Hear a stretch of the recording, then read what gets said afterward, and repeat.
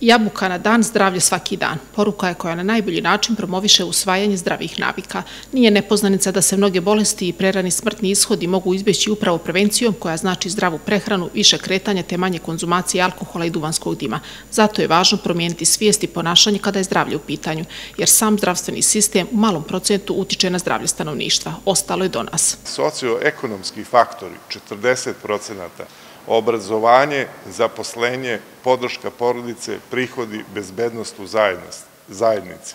Zatim životni stilovi 30%, upotreba duvana, iskrena, tjelesne vežbe, alkohol, različito seksualno ponašanje, rizično seksualno ponašanje.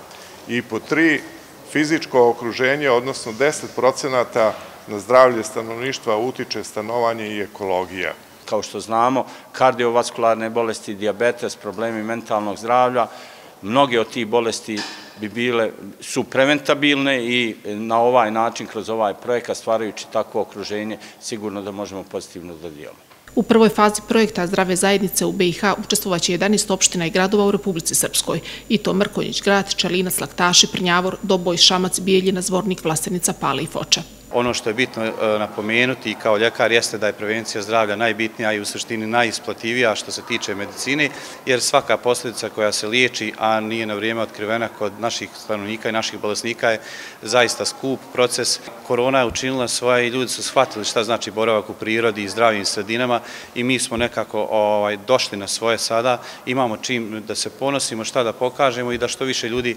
izađe iz domova, da se odmaknu i od računara i od telefona i da boravi u prirodi, jer, kažem, u prirodi smo stvoreni, u prirodi zaista možemo mnogo toga da naučimo. So through this uh, new project, health... Velike potrebe za zdravstvenim uslugama i pune bolnice u stvari najbolji su pokazatelj koliko su bitne prevencija bolesti i promocija zdravlja. Činjenica je vrlo jednostavna, prevencija je bolja nego liječenje.